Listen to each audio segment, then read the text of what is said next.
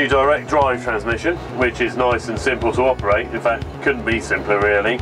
You've got uh, three buttons here to select your ranges, A, B and BC range, which works right up through B, all eight B power shifts and all eight C power shifts.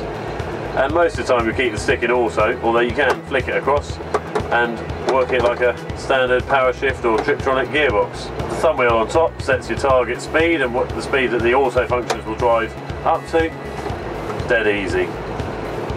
Another really clever function here is the fact that the gearbox, you can hold it on the brakes, so even on a slope like this, it's declutched itself on the brakes and release, the clutch pack's re-engaged, so it's just a case of squeezing the throttle and we're away.